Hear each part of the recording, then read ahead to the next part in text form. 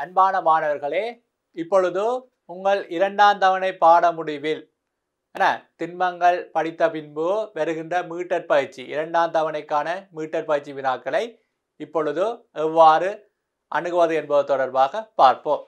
அங்கே மீட்டர் பயிற்சி இரண்டில் முதலாவதாக முதலாவது வினாவில் ஏதேனும் விசேட பண்புகளுக்கு அமைய தரப்பட்டவற்றை இரு கூட்டங்களாக மாற்றுக. ஆக இங்கே கிளி தந்திருக்கிறார்கள் காகம் தந்திருக்கிறார்கள் மைனா தந்திருக்கிறார்கள் மாடு தந்திருக்கிறார்கள் மெரை தந்திருக்கிறார்கள் ஆடு தந்திருக்கிறார்கள். அவை ஏதோ ஒரு பண்புகளுக்கு ஏற்ப கூட்டங்களாக வகுப்படுத்தக்கூடியதாக இருக்கும். அவை இவற்றை நாங்கள் பறவைகள் விலங்குகள் என கூட்டங்களாக மாற்றக்கூடியதாக இருக்கும். அவை கிளி காகம் மைனா என்பன ஒரு கூட்டத்துக்குள் உள்ளடக்கப்படும். பாருங்கள் கிளி காகம் மைனா என்பன ஒரு கூட்டத்துக்குள் உள்ளடக்கப்படும். அதே போல மாடு மரை ஆடு என்பனவற்றை ஒரு கூட்டங்களாக வகைப்படுத்தக்கூடியதாக இருக்கும் அவை இதற்கு இரண்டாவது வினாக அவ்விரண்டிற்கும் பொருத்தமான பெயரை எழுதுக. அவை இங்கே பொருத்தமான பெயரை வைக்க வேண்டும் என அவை நாங்கள் இங்கே நான்கு கால்கள் விலங்குகள் இங்கே எத்தனை விலங்கு கால் இருக்கு எல்லாத்துக்கும்? பறவைக்கு ரெண்டு. அவை விரும்பிய முறையில் நீங்கள் பெயரிடக்கூடியதாக இருக்கும். இது நான்கு கால்களுடைய விலங்குகள். நான்கு கால்களுடையவை கால்கள் உடையவை. இது எத்தனை காலுடையவை இரண்டு கால்கள் உடையவை.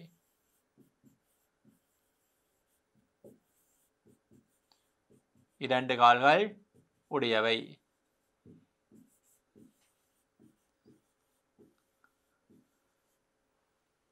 ஆவே இவற்றுக்கெல்லாம் பொது பண்புகள் நான்கு கால்களான் இருக்கின்றன. இங்கே இரண்டு கால்கள் இருக்கின்றன.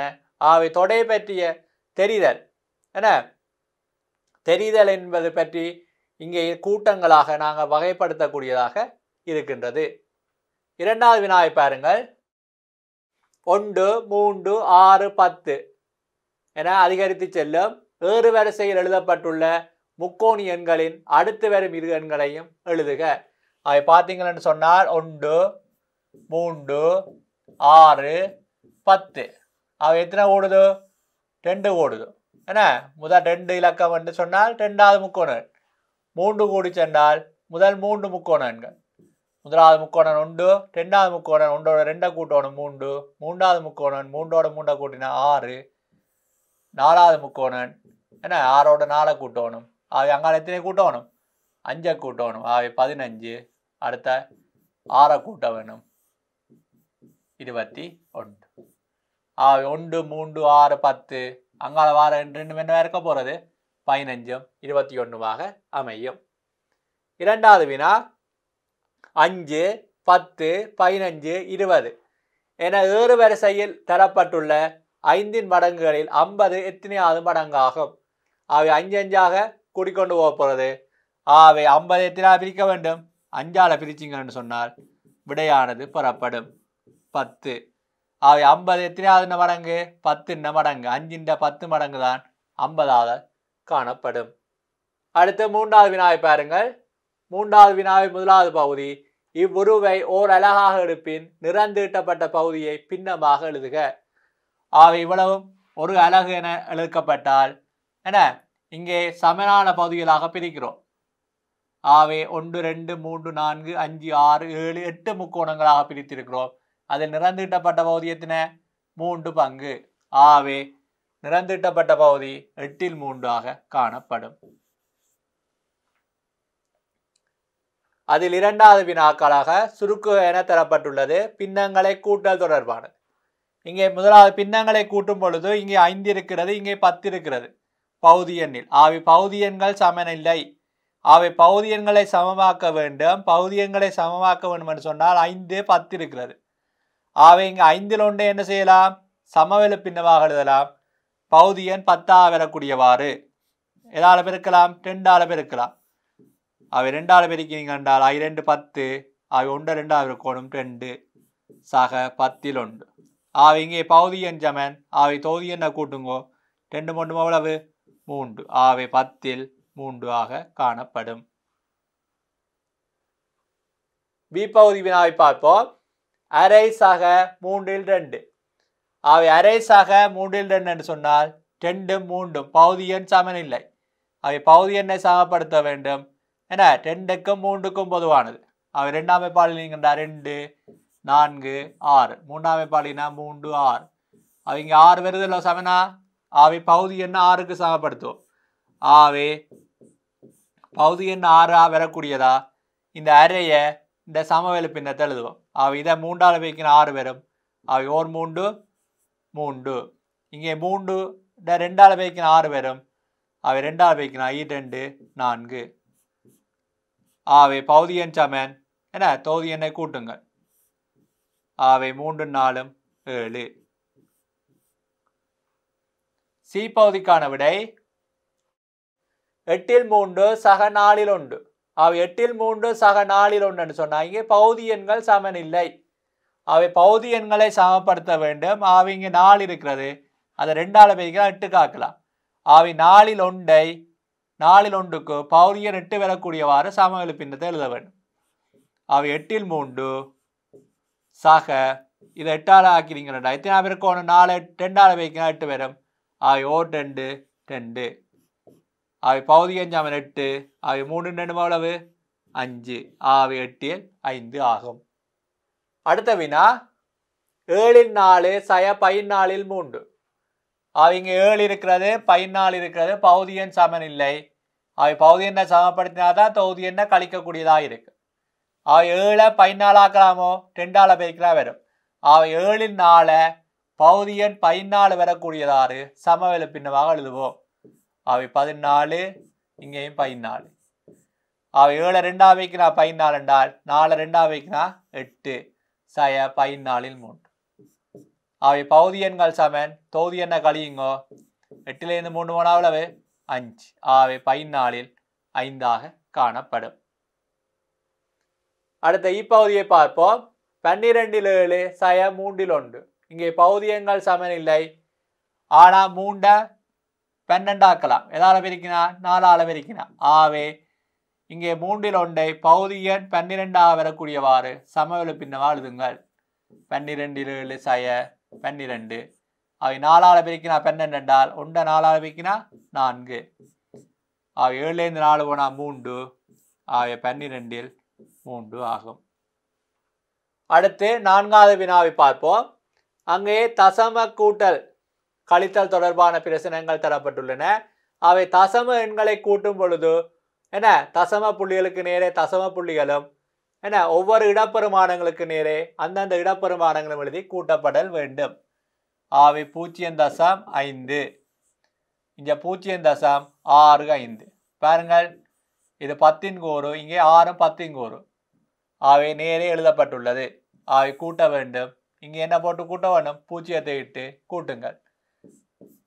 ஆவே அஞ்சு ஆறு அஞ்சு பதினொன்று. ஒரு வழி எரிமிச்சாம். தசத்து புள்ளி தசம புள்ளிக்கு நேர வரும் ஆவை ஒன்று. ஆவை ஒன்று தசம். ஒன்று ஐந்து ஆக காணப்படும்.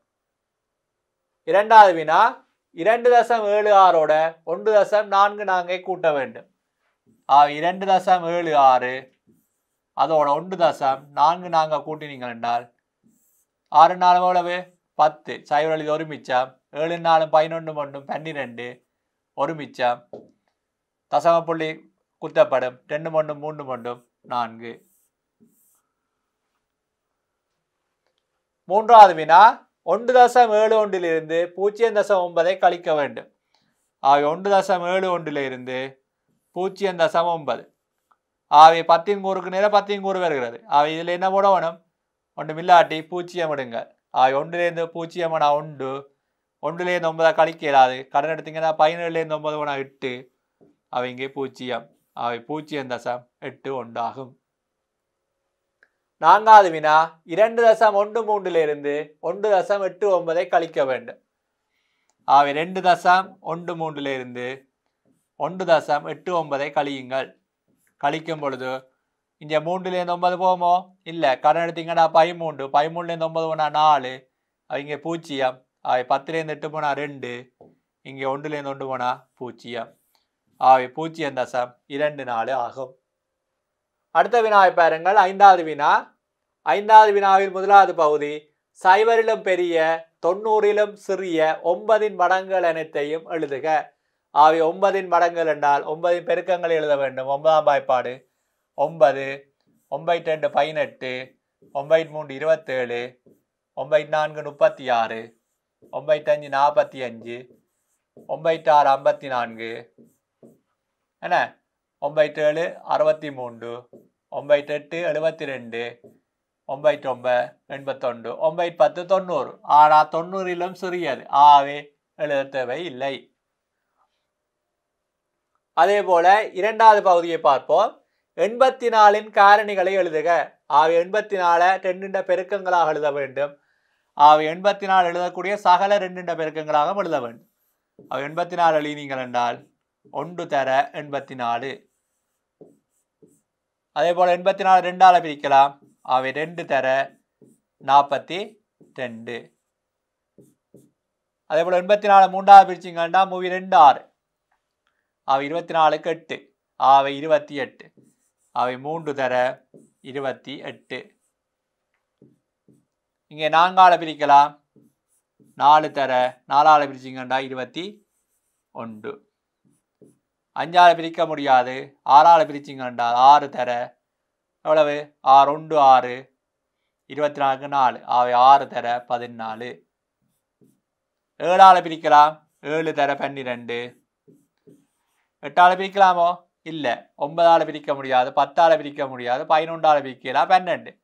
அவங்க பன்னெண்டு வந்துட்டு. அவை காரணிகள் என்று சொன்னால் எண்பத்தி நாலு காரணிகள் என்னென்று வரப்போகுது? திருப்பி எழுத வேண்டிய அவசியம் இல்லை. இனி பன்னெண்டு தர ஏழு பதினாலு தர ஆறுன்னா அமைய போகிறது அவை ஒன்று ரெண்டு மூன்று நாலு ஆறு ஏழு பன்னிரெண்டு பதினாலு இருபத்தொன்று இருபத்தெட்டு நாற்பத்தி ரெண்டு எண்பத்தி நாலு எழுதினால் போதுமானது.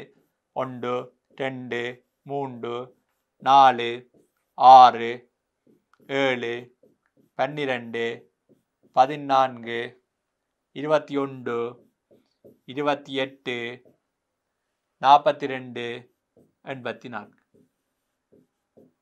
ஆவே இங்கே முதலாவது எண்ணையும் கடைசி எண்ணையும் பெருக்கினால் எண்பத்தி நாலு பேரும். அதுக்கு அடுத்த எண்ணையும் அதுக்கு முதல் எண்ணையும் பெருக்கினாலும் எண்பத்தி நாலு பேரும்.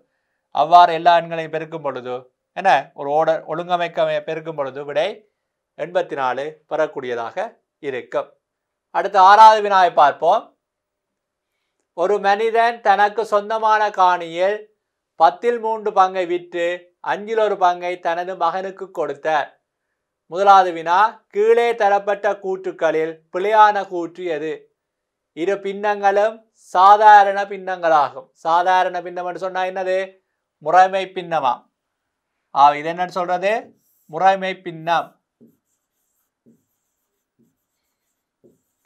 அவை முறைமை பின்னமோ?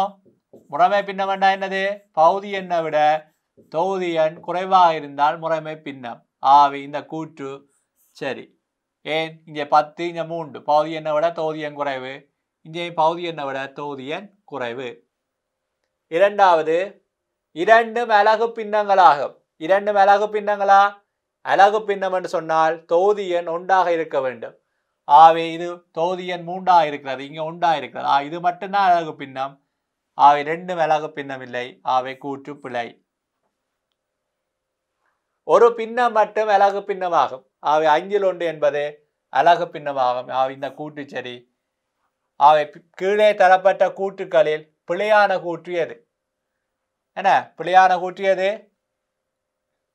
பியாக காணப்படும். இரண்டாவது வினாவுக்கான விடை சமவெளி பின்னம் கிடைக்கும் விதத்தில் வெற்று கட்டங்களை நிரப்புக. அவை சமவெளி பின்னம் கிடைக்கும் விதத்தில் வெற்றி கட்டங்களை நிரப்பவை சொன்னால் இங்கே ஐந்தில் ஒன்று தரப்பட்டுள்ளது. அவை ஐந்தில் ஒன்று இங்கே தொகுதி எண் ரெண்டால் பெருக்கப்பட்டுள்ளது. அவை பகுதி எண் எதால பெருக்கணும்? ரெண்டால் அவை ஈரொன்று ரெண்டு என்றால் ஐ ரெண்டு எவ்வளவு? பத்து என நிரப்பக்கூடியதாக இருக்கும். அடுத்த மூன்றாவது வினாவை பாருங்கள். காணியின் அஞ்சில் ஒரு பங்கையும் பத்தில் மூன்று பங்கையும் கூட்டினால் பெறப்படும் விடையை காண்க. அவை ஐந்தில் ஒன்று பங்கையும் பத்தில் மூன்று பங்கையும் என்ன செய்யட்டாம் கூட்டட்டாம் ஆகவே அஞ்சில் ஒன்றுக்கு நாங்கள் இங்கே சமவெளி பின்னத்தை கண்டுட்டோம் எவ்வளவு வந்தது பத்தில் ரெண்டு பகுதி எண் பத்தாக வரக்கூடியவாறு சமவெளி பின்னத்தை முதலாவது இரண்டாவது பகுதியை கண்டிருக்கோம் அவை நேரடியாக பிரயோகிக்கக்கூடியதாக இருக்கும் அவை பத்தில் ரெண்டு சக பத்தில் மூன்று அவை பகுதியன் சமன் தொகுதி என்ன கூட்டினீங்கண்டா பத்தில் அஞ்சு நான்காவது வினா மேலே கூறப்பட்ட மனிதனிடம் தற்போது அரைப்பங்கு காணி மட்டும் உள்ளதென காட்டுக. அவை பத்தில் அஞ்சு என்று சொன்னால் என்ன?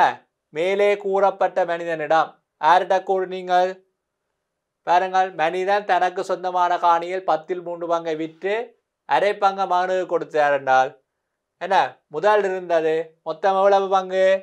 பத்தில் பத்து பங்கு. அதில் மகனுக்கு கொடுத்ததும் விற்றதும் எவ்வளவு? பத்தில் அஞ்சு ஆவை மிச்சமாக இருக்கிறது பத்தில் அஞ்சை கழிக்க வேணும். ஆவை கழிச்சிங்கள்னு சொன்னால் என்ன? இது பத்து. பத்துலேருந்து அஞ்சு போனால் அஞ்சு. அவை அஞ்சால் சுருக்கினீங்கள்னு சொன்னால் ஒரு முறை. இங்கே அஞ்சால் பிரிச்சிங்கன்னா ரெண்டு முறை. அவை எத்தனை பங்கு? அரை பங்கு. இவ்வாறு ஒரு முறையில் நாங்கள் விடையளிக்க முடியும்.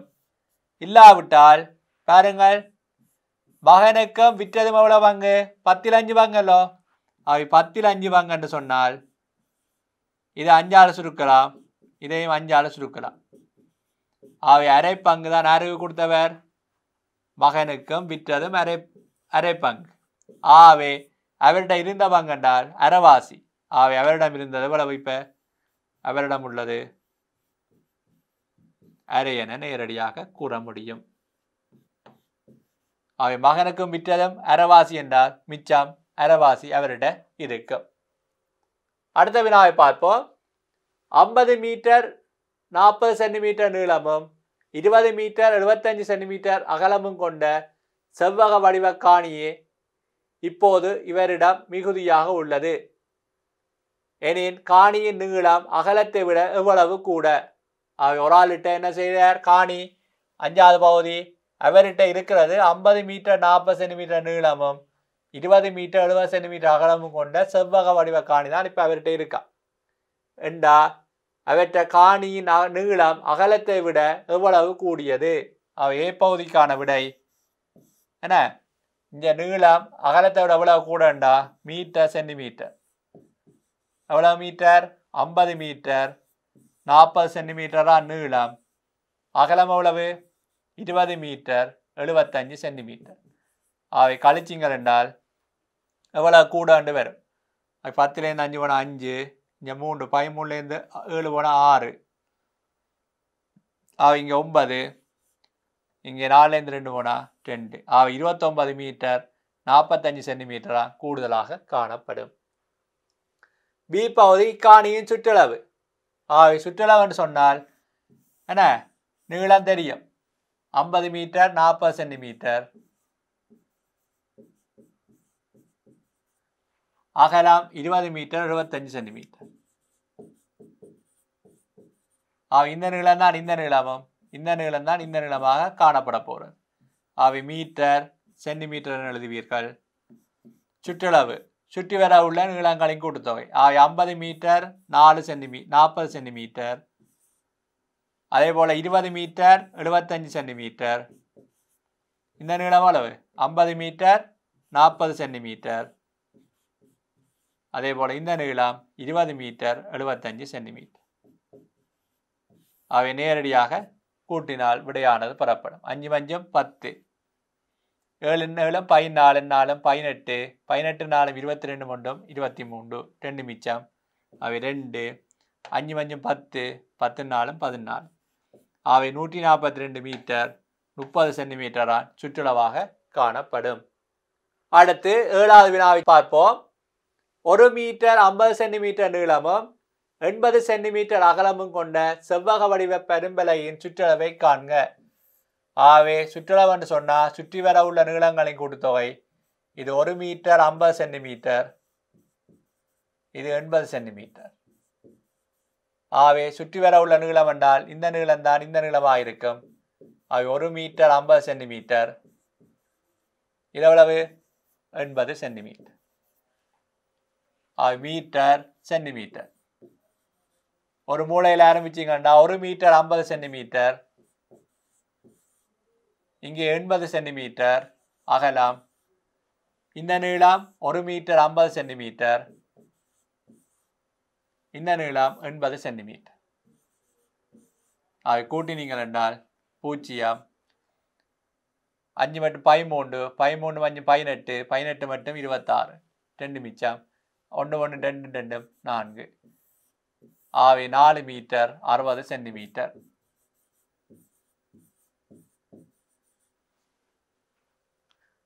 இரண்டாவது பகுதிக்கான விடாய் வாசுகியின் வீட்டிலிருந்து பாலத்தினூடாக பாடசாலையை நோக்கி செல்ல வேண்டிய மொத்த தூரம் யாது? அவை வாசுகின்ற வீடு இங்கே இருக்கிறது.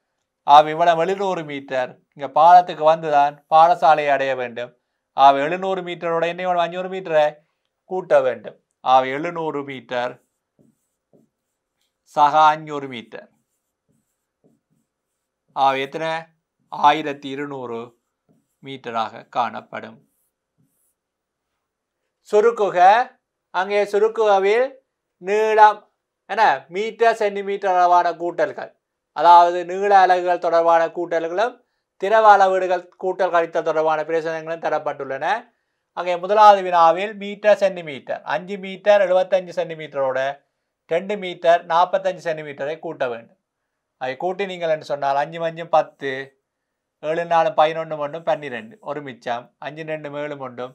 எட்டு. ஆக எட்டு மீட்டர் இருபது சென்டிமீட்டர். இரண்டாவது வினா கிலோமீட்டர் மீட்டர். பத்து கிலோமீட்டர் அறுநூற்றி அறுபது மீட்டரோட மூன்று மீட்டர் எண்ணூற்றி தொண்ணூறு மீட்டரை கூட்ட வேண்டும். அதை கூட்டினீங்கன்றால் பூஜ்ஜியம். என்ன? மூன்று கிலோமீட்டர் எண்ணூற்றி தொண்ணூறு மீட்டரை கூட்டினீங்கண்டா பூஜ்ஜியம். ஒன்பது மாதம் பதினஞ்சு. அஞ்சலி ஒரு மிச்சம். எட்டு மாதம் பதினாலு மட்டும் பதினஞ்சு ஒரு மிச்சம். பத்து மூணு பதிமூணு மட்டும் பதினாலு. அவை பதினாலு கிலோமீட்டர் அஞ்சூற்றி ஐம்பது மீட்டராக காணப்படும். மூன்றாவது வினா. லீட்டர் மில்லி லீட்டர் தொடர்பானது நாலு லீட்டர் எழுநூற்றி ஐம்பது மில்லி லீட்டரோட ரெண்டு லீட்டர் முந்நூற்றி ஐம்பது மில்லி லீட்டரை கூட்ட வேண்டும். அவை பூச்சியம் அஞ்சு அஞ்சு பத்து பூச்சியம் எழுதி ஒரு மிச்சம் ஏழு மூணு பத்து மொண்டும் பதினொன்று ஒரு மிச்சம் நாலு ரெண்டு ஆறு மொண்டும் ஏழு. அவை ஏழு லீட்டர் நூறு மில்லி லீட்டராக காணப்படும். அடுத்த வினா அஞ்சு லிட்டரிலிருந்து ரெண்டு லிட்டர் ஐம்பது மில்லி லிட்டரை கழிக்க வேண்டும். அவை பூச்சியம் இங்கே பத்துலேருந்து அஞ்சு போனால் அஞ்சு அவை இங்கே ஒன்பது நாலுலேருந்து ரெண்டு போனால் ரெண்டு அவை ரெண்டு லிட்டர் தொள்ளாயிரத்தி ஐம்பது மில்லி லிட்டர் ஆவி நீங்கள் கற்றிருப்பீர்கள் கிலோமீட்டர் மீட்டர் லீட்டர் மில்லி லீட்டரை என்ன? நாங்கள் எவ்வாறு கூட்டுவது கழிப்பதோ அதே போலவே வளமையான கூட்ட கழித்துடன் செய்ய வேண்டும். அங்கே அலகுகளை கவனிக்க லீட்டா மில்லி லீட்டர் என்றால் இங்கே மூன்று இலக்கத்தில் எழுதப்படல் வேண்டும் என்பதை நீங்கள் கவனித்தீர்கள் என்று சொன்னால் விடையை இலவாக பெறக்கூடியதாக இருக்கும். அடுத்த வினாவை பாருங்கள். தரப்பட்ட எண்களை ஏறு வரிசையில் எழுதுக. அவை தரப்பட்ட எண்களை ஏறு வரிசையில் எழுத வேண்டும் என்று சொன்னால் இது என்னது? ஒரு முழு பகுதி. ஆவை இது பெருசாக இருக்கும். இவை பன்னிரெண்டில் ஒன்றால் ஆறு அஞ்சா பெருசென்று பார்க்க வேண்டும். ஆவை பாருங்கள். இதை இதை பன்னிரெண்டாக மாற்ற முடியும் என்ன இது பன்னிரெண்டில் ஒன்று இந்த ஆறில் அஞ்ச பகுதி என்ன பன்னிரெண்டாக மாத்திரண்டால் இதை ரெண்டாவது பெருக்கோணும் ஆவி இர ஆறு பன்னெண்டு ஆவி பத்து இங்கே ஒன்று ஆவி இப்போ பார்த்தீங்கன்னு சொன்னால் எது பெருசு இதுதான் சின்ன ஆவி பன்னிரெண்டில் ஒன்று அடுத்தது பன்னெண்டில் பத்து ஆவி ஆறில் அஞ்சு அடுத்தது ஒன்று அவை நேரடியாகவே எழுதக்கூடியதாக இருக்கும். இரண்டாவது வினா தசமங்களில் வேறு வரிசைப்படுத்த வேண்டும். இங்கே ஒன்று ஒன்று தசம் ஒன்று பூஜ்ஜியம் தசம் ஒன்று பூஜ்ஜியம் தசம் ரெண்டு பூஜ்ஜியம் தசம் மூன்று. அவ இங்கே பார்க்கும் பொழுதோ இதை எழுதலாம் என்னண்டு ஒன்று தசம் பூஜ்ஜியம் ஒன்று தசம் ஒன்று பூஜ்ஜியம் தசம் ஒன்று பூஜ்ஜியம் தசம் ரெண்டு பூஜ்ஜியம் தசம் மூன்று. அவ இங்கே முழுவன் இதுவும் இதுதான் இருக்கிறது. அவ இவற்றில் ஒப்பிட்டீங்கள் என்று சொன்னா பூஜ்ஜியம் தசம் ஒன்று என்ன? பத்தின் கூறு. பாருங்கள். பத்தின் கூறை ஒப்பிடும் பொழுது முதலாம் தசமதானத்தை ஒப்பிட வேண்டும். ஒன்று ரெண்டு மூன்று. ஆவை பூஜ்ஜியம் தசம் ஒன்று அடுத்து பூஜ்ஜியம் தசம் இரண்டு. அடுத்து பூஜ்ஜியம் தசம் மூன்று. அடுத்து என்ன இருக்க போறது?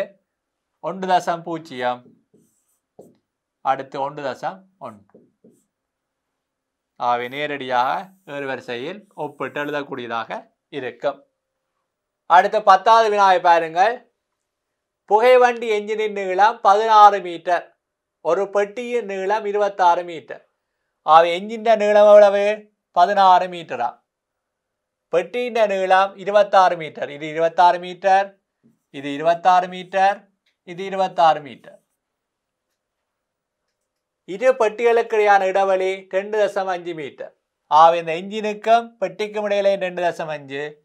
இந்த பட்டிக்கு இந்த பெட்டிக்கு ரெண்டு தசம் அஞ்சு. இதுக்கும் ரெண்டு தசம் அஞ்சு. மூன்று பெட்டிகளை கொண்ட புகையிரத்தின் மொத்த நீளம் எவ்வளவு? அதை பாருங்க இங்கே மீட்டர் இங்கே மீட்டர் இங்கே மீட்டர் மீட்டர். எல்லாம் மீட்டர்லாம் இருக்குது. அதை கூட்டினீங்கன்னு சொன்னால் என்ன? இந்த நீளம் பதினாறு.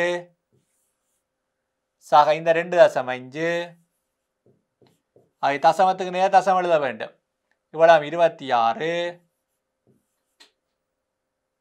இது ரெண்டு தசம் அஞ்சு இது இருபத்தி ஆறு ரெண்டு தசம் அஞ்சு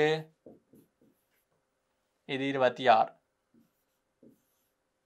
அவங்க பாருங்கள். என்ன செய்ய வேண்டும்? கூட்ட வேண்டும்.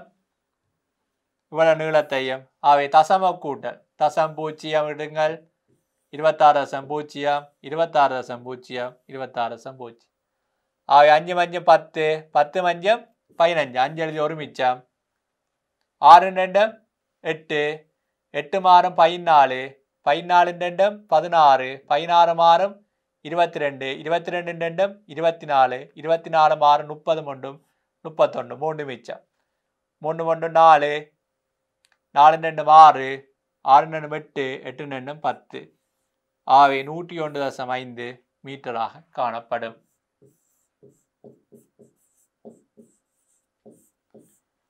ஆகவே புகையிரத்தின் மொத்த நீளம் நூற்றி ஒன்று தசம் ஐந்து மீட்டராக காணப்படுகின்றது.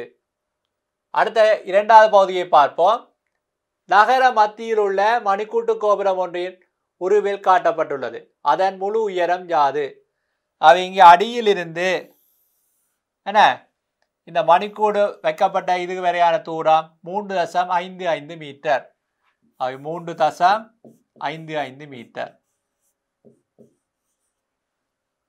அதே போல இந்த மணிக்கூடுக்கு இருக்கிடைப்பட்ட தூரம் ஒன்று தசம் பூஜ்ஜியம் அஞ்சு மீட்டர். அதே போல இந்த மணிக்கூட்டுக்கும் இந்த இதுக்கும் இடைப்பட்ட தூரம் சைவரசன் நாலு மீட்டர். அவங்க என்ன போடணும் பூஜ்ஜியம் விட்டுட்டு. மொத்த நிலவண்டோடைய என்ன வேணும்? கூட்ட வேணும். அவை அஞ்சு மஞ்சும் பத்து. சைவ ஒரு மிச்சம். அஞ்சு நாலு ஒன்பது மொண்டும் பத்து. ஒரு மிச்சம். மூணு மொண்டும் நாலு மொண்டும் அஞ்சு. ஆவே கோபுரத்தின் உயரம் எவ்வளவு? ஐந்து மீட்டர் ஆகும். பதினோராவது வினா. கீழே தரப்பட்ட எண்களுள் ரெண்டால் மீதியின்றி பாகுபடும் எண்கள் அவை ரெண்டால மீதியின்றி பாகுபடும் என்றால் ஒன்றாம் இடத்தில் இலக்கம் என்னவா இருக்கணும் பூஜ்ஜியமாக இருக்கணும் அல்ல ரெண்டாக இருக்கணும் அல்ல நாலாக இருக்கணும் அல்ல ஆறாக இருக்கணும் அல்ல எட்டாக இருக்கணும் அது பாருங்கள் ஒன்றாம் இடத்தில் இலக்கம் இருக்கா இல்லை இங்கே எட்டு இருக்கிறது ஆவை தொள்ளாயிரத்தி எட்டு வரும் இங்கே மூன்று இருக்கு ஆவை வராது இங்கே பூஜ்ஜியம் இருக்கு ஆவை ஆயிரத்தி தொள்ளாயிரத்தி எழுபது பெறப்படும் இங்கே ஐந்து இருக்கு வராது இங்கே பூஜ்ஜியம் இருக்கு. ஆகவே வரும். மூவாயிரத்தி எண்ணூறு. இரண்டாவது வினா ஐந்தால் மீதியின்றி பாகுபடும் எண்கள். ஐந்தால மீதியின்றி பாகுபடும் என்றால் ஒன்றாம் இடத்தில் இலக்கம் என்னவா இருக்கணும்? பூஜ்ஜியம் அல்லது அஞ்சா இருக்கணும்.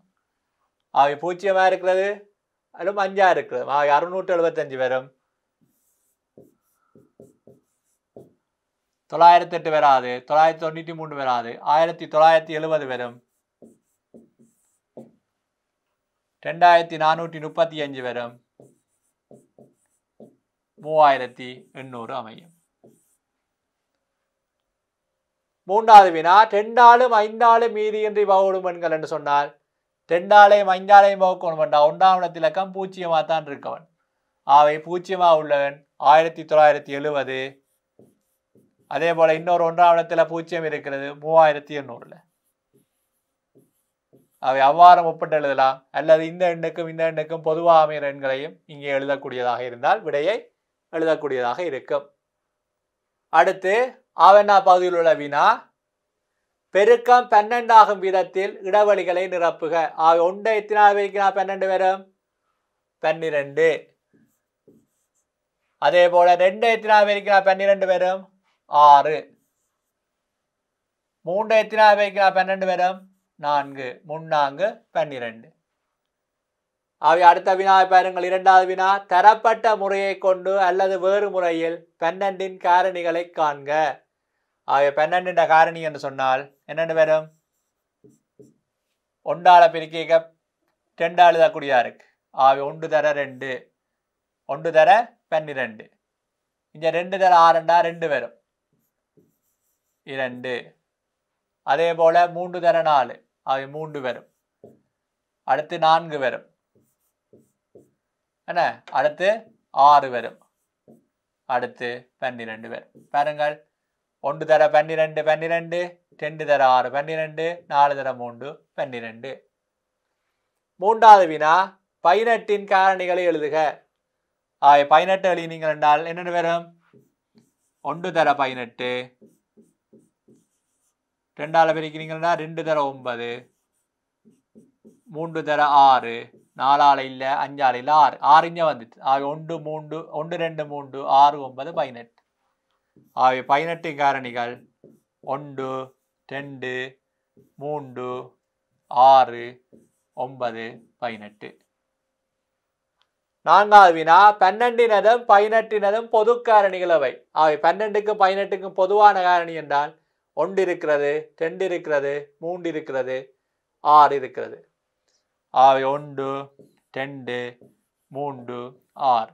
அவை இந்த பொது காரணி என்று சொன்னால் இந்த ஒன்று ரெண்டு மூன்று ஆறு என்ற எண்கள் தான் பன்னெண்டையும் பதினெட்டையும் என்னவா இருக்க போகிறது மிச்சம் இல்லாமல் பிரிக்கக்கூடிய எண்களாக இருக்கும். அவை இந்த ரெண்டு எண்களை பன்னிரெண்டையும் பதினெட்டையும் மிகுதி இல்லாமல் பிரிக்கக்கூடிய எண்கள் எது? ஒன்று ரெண்டு மூன்று ஆறு என்ற எண்களாகத்தான் அமையும். அடுத்து பன்னிரெண்டாவது வினாவை பார்ப்போம்.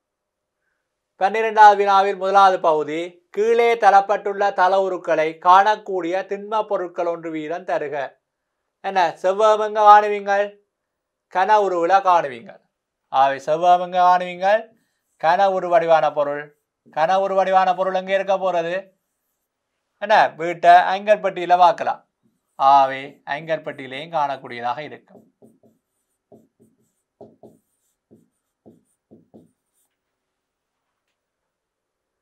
அதே போல சதுரம். சதுரத்தை காணலாம் சதுரமுகி வடிவான பொருளை காணலாம். என்ன கற்றிருக்கிறீர்கள்? சதுரமுகி வடிவான பொருள் எது? தாயக்கட்டை. இதில் காப்பீங்க தாயக்கட்டையில்.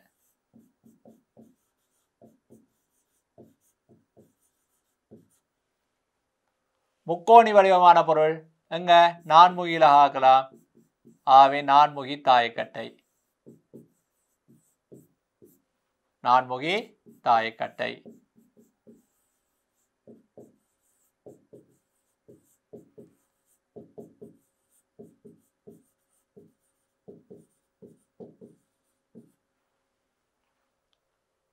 அடுத்த இரண்டாவது வினாவை பார்ப்போம். சதுரம் ஒன்றின் இரு பண்புகளை எழுதுக. அவை சதுரம் என்று சொன்னால் நீங்கள் கட்ட விடயங்கள் என்ன நேர்கோட்டு தளவுருக்களை படித்திருப்பீர்கள். எல்லா பக்கம் என்னவா இருக்க போகிறது சமனாக இருக்க போகிறது அதே போல் எல்லா கோணமும் சமனாக இருக்கும். எத்தனை பாகை? தொண்ணூறு பாகை. ஆவே எல்லா பக்கமும் சமனாகும்.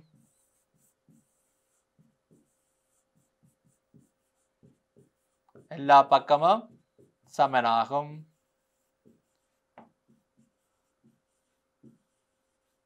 அதே போல எல்லா கோணங்களும் செங்கோணங்களாகும்.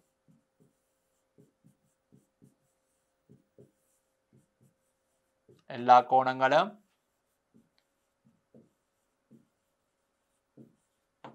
செங்கோணங்களாகும்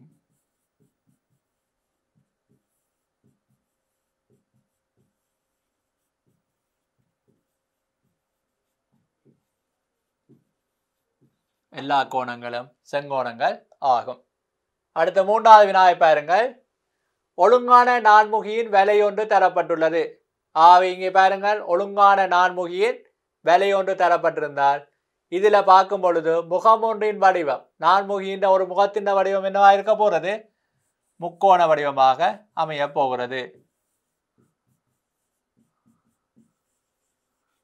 முக்கோண வடிவம்.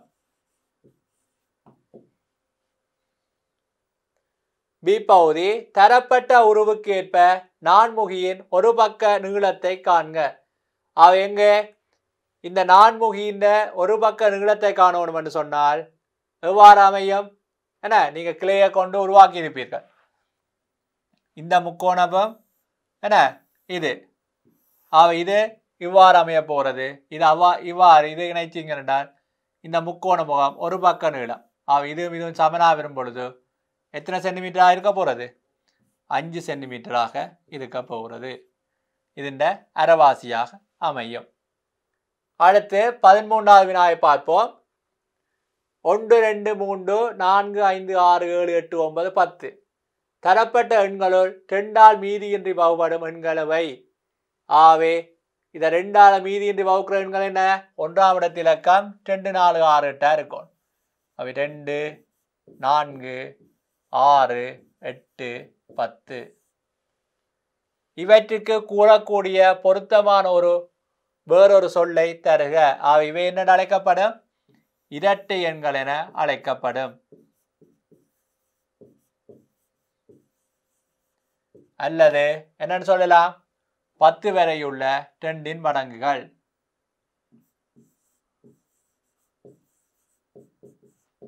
பத்து வரையுள்ள ரெண்டின் மடங்குகள்னு சொல்லலாம்.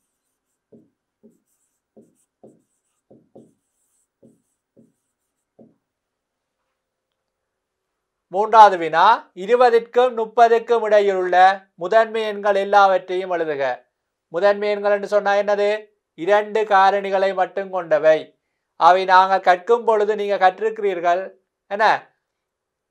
இருபதுக்கும் முப்பதுக்கும் இடையில் இருக்கிற இரட்டு எண்கள் ஒன்றும் அடங்காது. அதாவது இரண்டு தவிர ஏனி இரட்டு எண்கள் ஒன்றும் முதன்மை எண்களாக அமையாது. அவை மிச்ச எண்களை நாங்கள் கவனிக்க வேண்டும். இருபதெண்டா இருபத்தொன்று மூன்றால் வகுப்படும் ஆவே காரணி ரெண்டு வராது. ரெண்டை விட கூடுதலாகத்தான் இருக்கும். ஆக இருபத்தி மூன்று என்பது வரும். முதன்மை எண்ணாக இருபத்தி நாலு வராது. இருபத்தி அஞ்சு அஞ்சால் போடுவதால் இருபத்தஞ்சு வராது. இருபத்தி ஏழு மூன்றால் வகுப்படும் வராது. ஆகவே அடுத்த இருபத்தி ஒன்பது ஆவே முதன்மை எண் என்னது? இருபத்தி மூன்றும் இருபத்தி ஒன்பதும்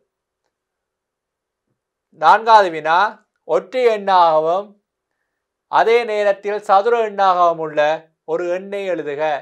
ஒற்றை எண்ணாகவும் இருக்கணும் சதுர எண்ணாகவும் இருக்கணும் என்று சொன்னால் என்ன? சதுர எண்கள் எழுதி பார்த்தீங்கன்னு சொன்னால் என்ன?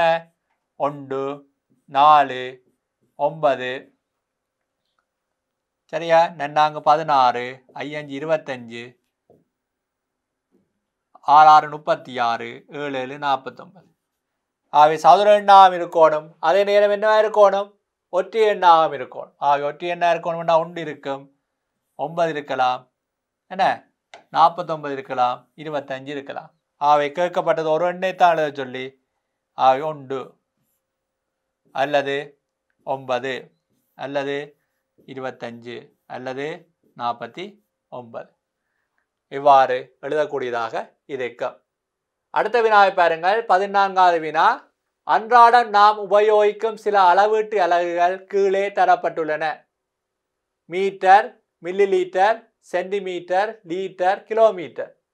பொதுவான பண்புகளுக்கு ஏற்ப அவ் அளவீடுகளை இரு கூட்டங்களாக மாற்றுக.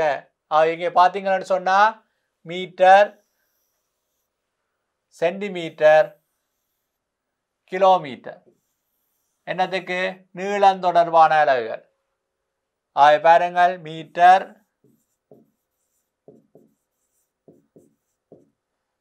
சென்டிமீட்டர்.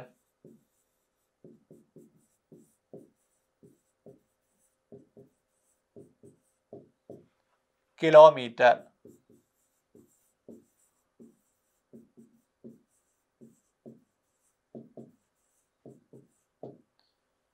இவ்வாறு ஒரு கூட்டமாக பிரிக்க முடியும். அதே போல இன்னொரு கூட்டம் மில்லி லீட்டர் லீட்டர்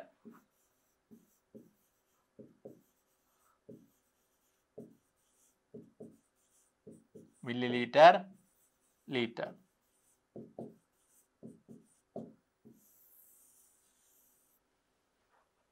ஆ இது ஏ கூட்டம். இதுக்கு பி என்று பெயரை வைப்போம். இரண்டாவது ஒவ்வொரு தொகுதிக்கும் பொருத்தமான பெயரை எழுதுக. ஆகவே ஏ என்ன பெயர் வைப்பீங்கள்? நீளம் தொடர்பானவை. நீளம் தொடர்பான அலகுகள்.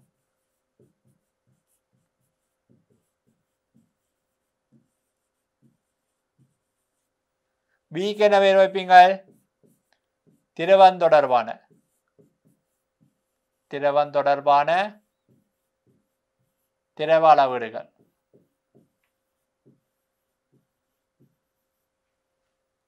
சி பகுதியை பார்ப்போம். ஒவ்வொரு அலகையும் தனித்தனியாக எழுதி அவற்றுக்கு எதிரே உரிய குறியீட்டை எழுதுக. இங்கே பாருங்கள். Metre kilometre centimetre. ஆகவே சென்டிமீட்டர் என்னென்று அழைக்கப்படும்? சிஎம் சென்டிமீட்டர் என்னென்னு சொல்றது? சிஎம் என கூறுவோம்.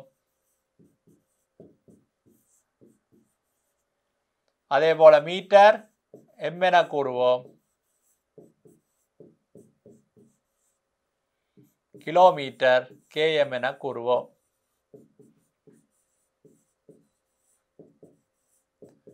கிலோமீட்டர் என்ன சொல்லுவோம் கேஎம் என கூறுவோம். அதே போல திரவாள வீட்டில் லீட்டர் எல் என கூறப்படும்.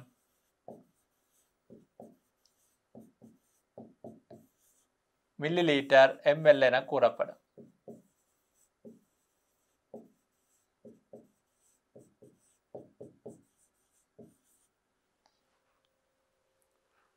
அடுத்த பகுதி பாருங்கள். ஒவ்வொரு அலகுக்கும் இடையான தொடர்புகளை எழுதுக. ஆகவே சென்டிமீட்டர் மீட்டர் கிலோமீட்டருக்கு இடையான தொடர்பு என்றால் என்ன? ஒரு மீட்டர் எத்தனை சென்டிமீட்டர் நூறு சென்டிமீட்டர் அது கற்ற விடயங்களை ஞாபகப்படுத்தி பாருங்கள். அதே போல் மீட்டர் கிலோமீட்டர் என்றால் ஒரு கிலோமீட்டர் எத்தனை மீட்டர் ஆயிரம் மீட்டர் அதே போல் லீட்டர் மில்லி லீட்டருக்கான தொடர்பு என்றால் ஒரு லீட்டர் எத்தனை மில்லி லீட்டர் ஆயிரம் மில்லி லீட்டர் இவ்வாறு நீங்கள் தொடர்புபடுத்தி அலகுகளை எழுத வேண்டும். அடுத்து பதினைஞ்சாவது நாளை பார்ப்போம் ஏ பகுதி ஒரு லீட்டர் ஐம்பது மில்லி லீட்டர் என்பதை மில்லி லீட்டரில் தருக ஏ பகுதியை பாருங்கள் ஒரு லீட்டர் ஐம்பது மில்லி லீட்டர் என்னத்தில் தர வேணும் மில்லி லீட்டரில் தர வேணும்னு சொன்னால் இது எழுதலாம் ஒரு லிட்டர் சக ஐம்பது மில்லி லீட்டர் ஆக ஒரு லிட்டர் எத்தனை மில்லி லிட்டர் லிட்டரை மில்லி லீட்டராக்க ஆயிரத்தால் பெருக்க வேணும் சக ஐம்பது மில்லி லீட்டர் ஆக ஒன்று தர ஆயிரம் ஆயிரம். சக ஐம்பது. ஆகவே ஆயிரத்தி ஐம்பது மில்லி லீட்டர் பி பகுதி ரெண்டாயிரத்தி முப்பத்தஞ்சு மில்லி லீட்டரை லீட்டர் மில்லி லீட்டரில் தருக. அவை ரெண்டாயிரத்தி முப்பத்தி அஞ்சு மில்லி லீட்டரை லீட்டர் மில்லி லீட்டரை தாரண்டா ஒரு லிட்டர் எத்தனை? ஆயிரம். ஆக ஆயிரத்தின் மடங்கள் எழுதணும்டா? ரெண்டாயிரத்து. ஆகவே ரெண்டாயிரம் மில்லி லீட்டர் சக முப்பத்தி அஞ்சு மில்லி லீட்டர் ஆவி ரெண்டாயிரம் மில்லி லீட்டர் எத்தனை லீட்டர் ரெண்டு லீட்டர் இங்கே முப்பத்தஞ்சு. மில்லி லீட்டராக காணப்படும். சி பகுதி ஒவ்வொன்று நூற்றி ஐம்பது மில்லி லீட்டர் கொண்ட ஆறு குவளைகளுக்கு ஒரு லிட்டர் நீரை ஊற்றிய போது எஞ்சின் நீரின் அளவு. அவை நூற்றி ஐம்பது மில்லி லிட்டர் ஆறு குவளை என்று சொன்னால் என்ன ஒன்று நூற்றி ஐம்பதை? ஆறால பெருக்க வேணும் ஒரு குவளையில நூற்றி ஐம்பது ஆறு குவளையிலையும் பெருக்கினீங்கள் என்றால் சைவர் ஆறஞ்சு முப்பது மூணு மிச்சம் ஆறு மூணு ஆறுண்டு ஆறு ஆறு மூணு ஒன்பது. ஆவை தொள்ளாயிரம் மில்லி லீட்டர் ஆவை ஒரு லிட்டர் நீரை ஊற்றினால் ஒரு லிட்டர் என்பது ஆயிரம் மில்லி லிட்டர் ஆவை ஆயிரம் மில்லி லிட்டர்ல இருந்து என்ன செய்ய வேணும்? தொள்ளாயிரம் மில்லி லீட்டரை கழிச்சிங்கள் என்றால் மீதி வாரது எவ்வளவு? நூறு மில்லி லீட்டராக காணப்படும். அடுத்து இரண்டாவது வினாவை பாருங்கள். ஐந்து மீட்டர் வெள்ளை துணியிலிருந்து பெண்ணுக்கான சட்டை ஒன்று தைப்பதற்கு ரெண்டு தசம் அஞ்சு மீட்டர் துணியும். அவை பெண்ணுக்கு எவ்வளவு? ரெண்டு தசம் ஐந்து மீட்டர். ஆணுக்கான சட்டை தைப்பதற்கு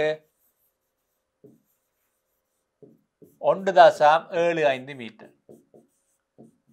அவை தசத்துக்கு நேர தசங்குத்த வேணும். இங்கே பூஜ்ஜியம். வெட்டி எடுக்கப்பட்டது. மிகுதியாக துணியின் அளவை சென்டிமீட்டரில் தருக. அவை அளந்து இதை டெண்டுக்கும் எவ்வளோ வெட்டி எடுத்துனாங்க என்றால் கூட்ட வேண்டும். அவை அஞ்சு ஏழு அஞ்சு பன்னிரெண்டு ஒரு மிச்சம் ரெண்டு மண்டு மூணு மண்டு நாலு. அவை நாலு தசம் இரண்டு ஐந்து மீட்டர். அவை நாலு தசம் இரண்டு அஞ்சு மீட்டர் என்று சொன்னால் இதை சென்டிமீட்டர் ஆக்கும் எவ்வளவு? இதை எழுதலாம். நாலு மீட்டர் சக பூஜ்ஜியம் தசம் ரெண்டு அஞ்சு மீட்டர். அவை நாலு மீட்டர் எத்தனை சென்டிமீட்டர்? நானூறு சென்டிமீட்டர். சக பூஜ்ஜியம் தசம் ரெண்டு அஞ்சு மீட்டர். பாருங்கள். ஒரு மீட்டர் நூறு சென்டிமீட்டர். ஆகவே ஒரு சென்டிமீட்டர்னு சொன்னால் நூறால் பிரிக்கணும். பூஜ்ஜியம் தசம் பூஜ்ஜியம் ஒரு மீட்டர். அவை பூஜ்ஜியம் தசம் பூஜ்ஜியம் ஒரு மீட்டர் ஒரு சென்டிமீட்டர்ண்டா பூஜ்ஜியம் தசம் ரெண்டு அஞ்சு மீட்டர் இருபத்தஞ்சு சென்டிமீட்டர். ஆகவே நானூற்றி இருபத்தஞ்சு சென்டிமீட்டர். இங்கே எத்தனை மீட்டர் வாங்கினவர்? அஞ்சு மீட்டர் துணி. ஆகவே எவ்வளவு? அஞ்சூறு சென்டிமீட்டர். அவை அஞ்சூறில் இருந்து நானூற்றி இருபத்தஞ்சை கழிஞ்சா எஞ்சிய துணியின் அளவு வரும். அவை எஞ்சியது அஞ்சூரில் இருந்து என்ன வேணும் நானூற்றி இருபத்தஞ்சு சென்டிமீட்டர் வெட்டி கொடுத்தாச்சு. கழிச்சால் எவ்வளவு? எழுபத்தஞ்சு. சென்டிமீட்டர்.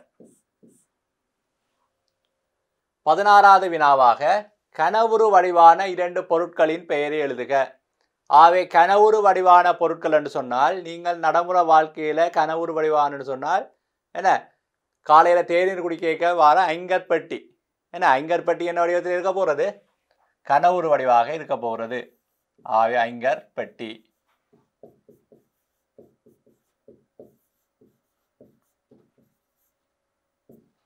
அதே போல பாடசாலையில் படந்த பயன்படுத்தப்படுகின்ற வெண்கட்டி பட்டி பிஸ்கட் பட்டி.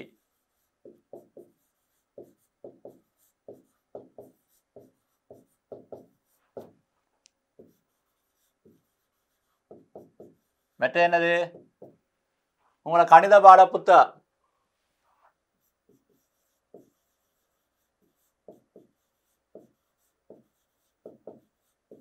கணித புத்தகம். இதில் இரண்டு பொருட்கள் எழுதியுங்கள் என்றால் அதற்கான விடையை பெறக்கூடியதாக இருக்கும். இரண்டாவது வினாவை பாருங்கள். கனவுரு வடிவான பெட்டி ஒன்றை அமைப்பதற்கு தேவையான விலை ஒன்றை வரைக. கனவுரு வடிவான பெட்டி என்று சொன்னால் உங்களுக்கு தெரியும் கற்கும் பொழுது தெரிந்திருக்கும் என்ன இவ்வாறு ஒரு விலை அமைப்பு வரும். எத்தனை முகம் பெற வேணும்? ஆறு முகம் பெற வேணும். இந்த முகமும் இந்த முகம் சமனா இருக்கும். அதே போல் இந்த முகமும் இந்த முகமும் சமனா இருக்கணும். அதே போல் இந்த முகம் இந்த முகம் என்னவாக இருக்கணும்? சமனாக அமைய வேணும். அதுக்கேற்றபடி இந்த வேலையமைப்பை கீறி காட்ட வேண்டும். அதை பாருங்கள். இங்கே நாலு. என்ன இதில் ரெண்டு. அவ இதில் எத்தனை பேர் வேணும்? இதில் நாலு வர வேணும். இதில் ரெண்டு வர வேணும். இதில் நாலு வர வேணும். அவை அவ்வாறு அளந்து இங்கே சதுரத்தில் கீற வேண்டும். பாருங்கள். இங்கே ரெண்டு. இங்கே ரெண்டு. இங்கே ரெண்டு. இங்கே எவ்வளவு? நான்கு. இடைவெளி காணாவிட்டாலும் மூன்று கருவோம்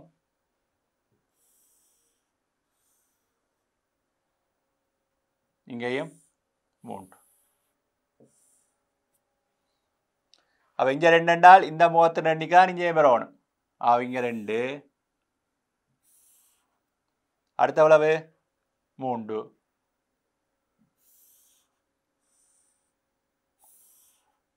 அதை பாருங்கள் இவ்வாறு ஒன்று பிரிவடம் இவ்வாறு ஒன்று பிரிவடம்